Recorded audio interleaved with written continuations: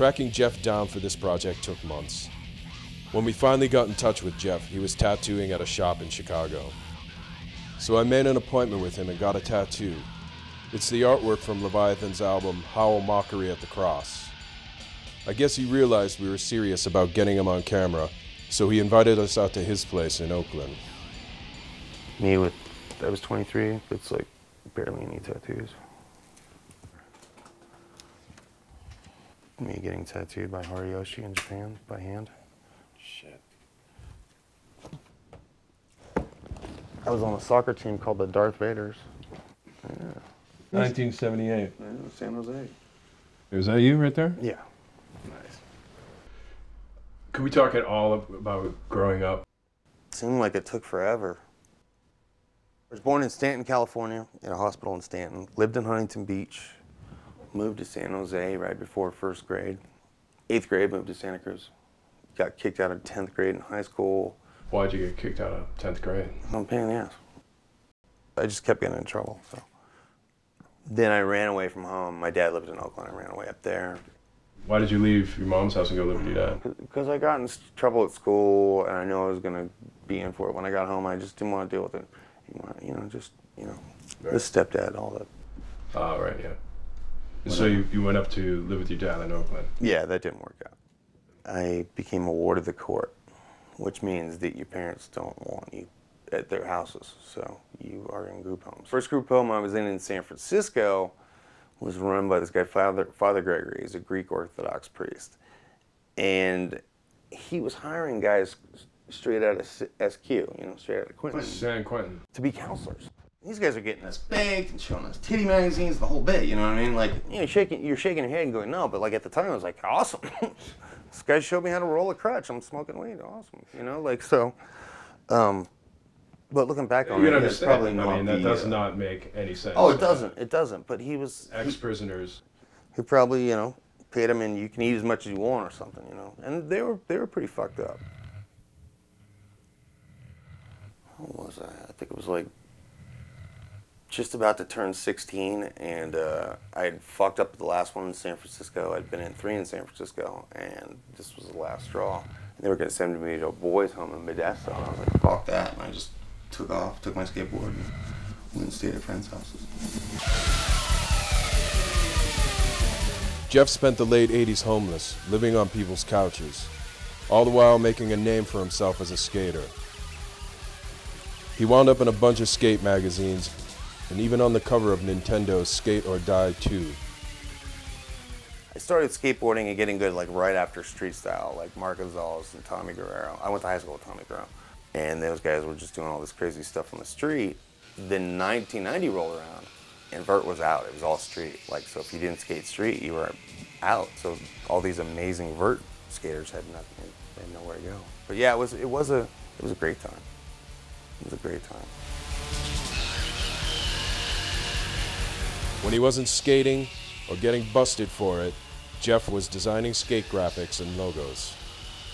I sold this to Thunder Trucks in 91 for 50 bucks. They still use it, and I get no fucking money. I mean, considering the fact that it's their icon and they're still using it, where's my money?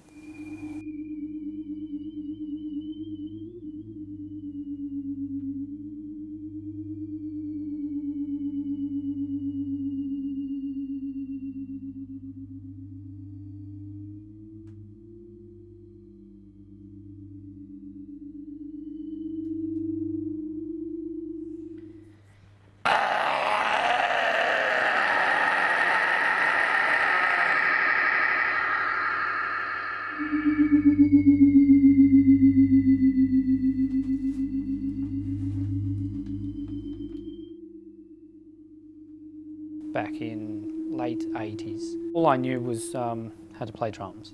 That was my sole purpose in life at that time, my raison d'etre. And when did you first start playing in bands?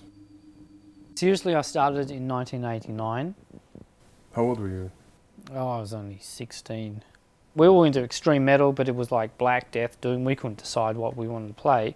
I wanted to play fast stuff. because it was all new to me. And our guitarist was into really slow, like Candlemass type stuff, and then another guitarist was into Testament and Metallica. So it's just so it was just a real mishmash. yeah. And um, it was probably because of those kind of bands and that kind of beginning that that made me realise, you know, going solo is definitely the more desirable way to go. So then I started um, teaching myself how to play guitar. In '95, I was ready to record. A Tragic Journey Towards the Light, that was the first album. It's not a demo like people think, it, really is an album. It was like this serious conceptual thing, had like lots of intros and a full length kind of piece that worked together, yeah. It was recorded using one stereo bouncing into another stereo. So we'd record the gu- guitar track, then play it from A deck to B deck. While it was recording into B deck, I was using finger drums on the Casio keyboard in mono, and then we put that tape back into the first one again to do the vocals. So third time around, it had the, the three main instruments there. How did your sound change from the Striborg's first releases up into where you are now? In the early recordings, it was a lot faster sounding, more frantic, more urgent. Um, they were also the years that I used to take drugs. S- used to smoke pot every day and take LSD occasionally and stuff like that. It was when I stopped doing that that I realised that those substances were actually clouding my vision. Because once I stopped doing that, I was able to create more emotional and depressive music and I wanted to go go that way. I don't know whether it's because it's a coincidence or what, but I just that was the way I wanted to go when, when I became straight. Now I've been straight for ten years.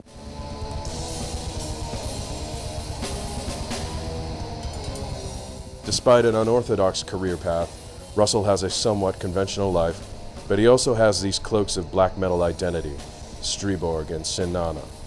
They almost seem like outlets for expressing a point of view at odds with his day to day life. I'm a normal human being like everybody else, and I'm a father and a husband. That's when it draws the line that there's Russell there, and Sinana is, is like the entity for creating the music and the dark visions that I have. There's at times that you know it'll be one and the same, and other times that it definitely is so worlds apart. The real Striborg started when I lived here, 2000, turn of the millennium. By moving here, I could reflect on what it had been like living in a city and being around people all the time and all the rubbish I put up with. I just became recluse and I just cut all those problems out of my life and became semi happy for doing so.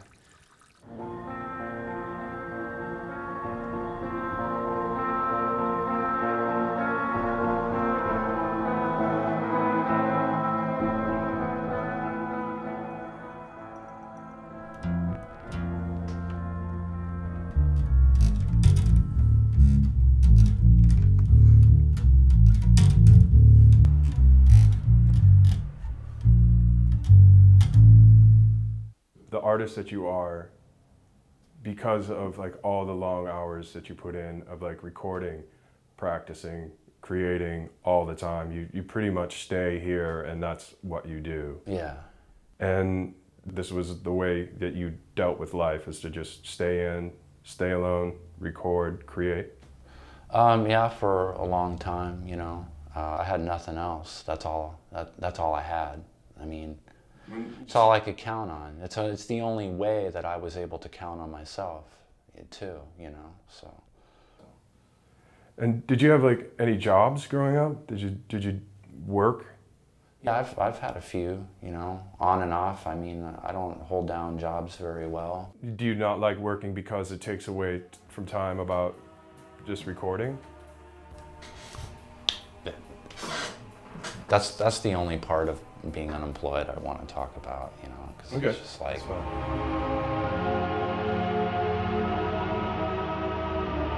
Scott's aversion to revealing anything too personal makes it impossible to figure out how or why he's carved this life out for himself. But it speaks volumes about his need to do everything on his own and create such brutal, compelling music. When did you first discover like you wanted to play music, you wanted to create? I just started doing it like probably after high school, you know. Were you were, were you working with other people, or did, we, did you always just work by yourself? Um, I used to work with uh, with other people, but back then, like, no nobody wanted to play black metal, and if you explain it to them, they just, you know, nobody wanted to play any kind of music like that, and so the people I would find were people that were not really into it, and I would tell them do it anyway. I even tried to bribe people and you know play drums for a couple hours and I'll pay you some money or something like. It just didn't work. There was nothing I could do, you know. So you never perform live. Is that why? Why don't you perform live? I know what I put into it, um, and I know that that can't exactly be recreated live. The only way it would work is I'd have to find session people and I don't really like doing that. I don't like, I mean, it's just part of the, uh, one of the things about metal, uh, especially these days, black metal is just like a lot of bands and musicians, they just recycle the hell out of each other and um, I'm not into that. It's not the kind of band that you, you go to see. It's not like some rowdy beer drinking kind of music. That's pretty much why. And I mean, I have another problem too is like, I do a lot of songs, so I don't really remember how to play half the shit I write.